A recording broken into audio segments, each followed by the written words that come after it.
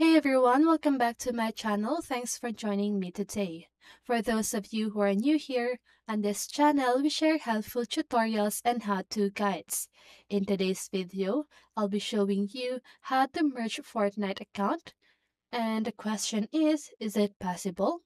So if you want to know the answer, just keep on watching. So the Epic rule book does not allow selling and purchasing of accounts or using an account under a different identity.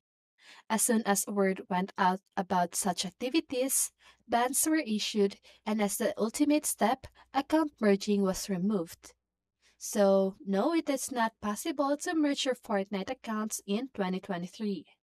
It is not possible to account merge on PC, PS5, PS4, Xbox, Switch, iPhone, or Android. Epic Games accounts cannot be merged with other Epic Games accounts. Okay? And that's it for this video.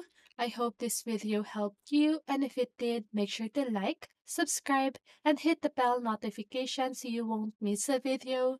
See you in the next one and have a great day.